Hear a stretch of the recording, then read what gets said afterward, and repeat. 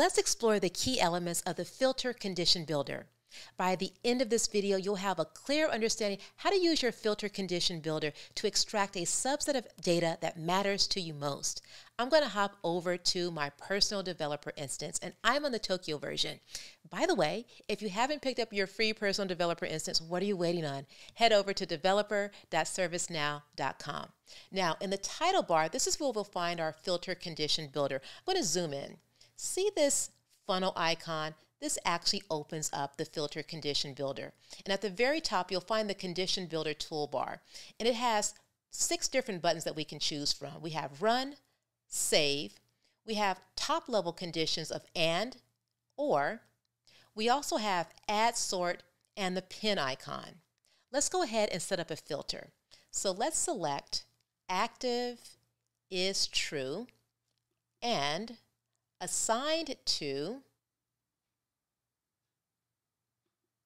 is Beth Anglin. Now, by the way, you certainly can be following along with me in your own personal developer instance. That will give you some great hands-on experience. And then to run this, we'll select the Run button at the very top in the Condition Builder toolbar. So now we have a list of records, a subset of data, of records that are active that are all assigned to Beth Anglin. Now we can do a little bit more with this filter. Let's say we let's say we want to save it. We'll select the filter icon again and we'll select save. We'll be prompted to give it a name. So we will call this filter incidents Beth Anglin. Now it's always important to give it a name that will make sense to you later. And we will select save. Now, before we do that, I want to point out that depending on your role, you can save this filter just for yourself. You can save it for everyone or a group. For our purposes today, I'll just save it for myself. I'll select save. All right, now we'll go back to the incident list. Now to do so, we'll take a look at the breadcrumbs. The breadcrumbs basically give you a summary of your filter condition builder. We have all active is true, assigned to is Beth Anglin. We're going to select all to remove all of the conditions.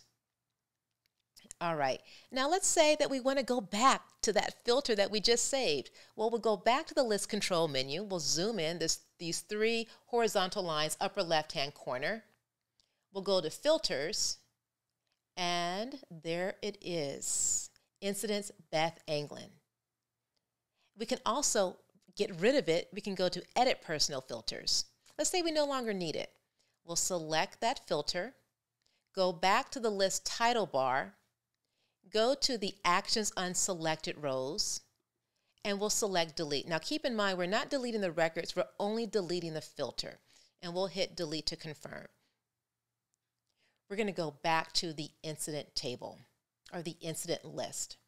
So I'm going to do that by just navigating to History, and going to incidents.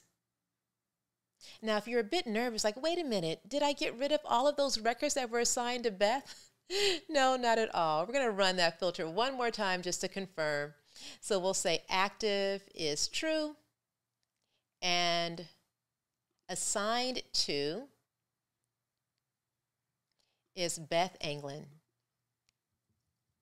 And we'll run that filter again and rest assured there are your records. We'll go back to the breadcrumbs.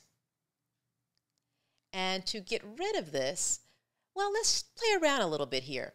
Let's say, so our breadcrumbs tell us that our filter conditions are all is true, active is true, and assigned to is Beth Anglin. Let's say that we want to get rid of active being true. we want to just get rid of a middle condition, what we would do is select the filter separator to the left of the condition that we want to get rid of. And now we have all assigned to as Beth Anglin. Now I'm going to go ahead and just select all. That will get rid of everything to the right. So I'm going to select all, and this will give us a list of all of the incidents on the incident list. Let's go ahead and set up another condition. So we'll select the funnel icon. All right, so let's play around with this a little bit more. So we'll select active is true. And priority is 1. And let's also say, and it's assigned to is the ITIL user. And let's hit run. So we'll get a subset of data that match the criteria that we set up. So as we see, we have the ITIL user in the assigned to field. Okay, now let's say, well, wait a minute. Let's say that we actually want to get not just the priority one incidents, but we also want to get the priority two. Let's open that filter again.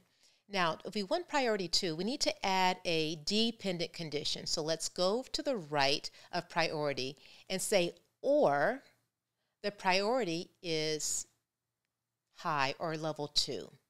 We'll hit run again. And once again, we get that subset of da data. See, we see the critical, the level ones, and the high, the level two.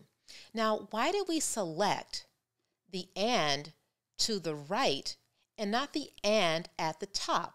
Well, the conditions at the top, those are top level conditions. So if we were to select that instead, it will give us priority two records without regard to who the assigned to person is. So we're going to remove the priority is high as the dependent condition. We'll go to the top and say, or priority is two. And you'll see that we will get records of priority two from a variety of different users. And let's select run. Let's take a look at the data. And see here, when you go to the assign to, notice how we have not just the ITIL user, but we also have other users as well. Let's back out of this. Let's return back to the condition builder. All right, we'll remove this. Run this again and notice how those records disappear and we just have those priority two records of the ITIL user. Okay, fantastic. Let's take a closer look at the breadcrumbs again. In the breadcrumbs, it gives us a summary of what we just built out in the filter condition builder.